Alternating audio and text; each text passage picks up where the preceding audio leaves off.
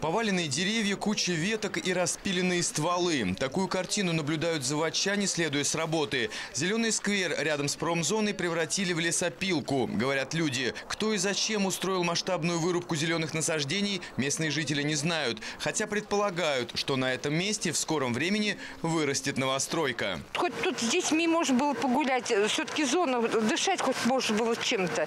А теперь вот этот дом все загородит у нас, я не знаю, что мы тут будем делать. Грязь будет, в общем, безобразие.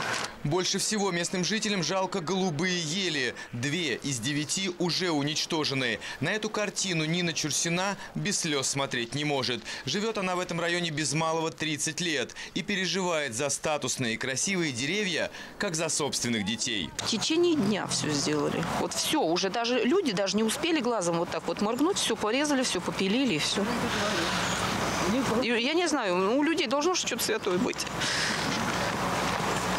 Пильщики говорят, что уничтожают природу не по собственной прихоти. Начальство приказало, они и исполняют. Работают здесь уже третий день. Там одна большая кособокая была. Ага. С одной стороны только ветки. И одна, там какая хрен это анализ, вообще голубая, не голубая, не знаю. Но эти сейчас тут, которые стоят, там тоже будут, да? Нет, эти сказали, будут выкапывать. Нормально перевозить. А, вот которые сейчас Да, остались. да, да. Их Нормальные Вот, вот эти они сказали, хорошие, оставьте. На этом участке действительно должен появиться многоквартирный дом. Строить его будет компания «Игротек». Землю она приобрела у Росатома. И согласно федеральному закону, собственник на своей территории может делать, что хочет. Хочет – сажает деревья, хочет – вырубает. И неважно, клен это береза или голубая ель. Поскольку участок находится в частной собственности, то собственник земельного участка имеет право на снос э, зеленых насаждений согласно земельному кодексу и жилищному кодексу.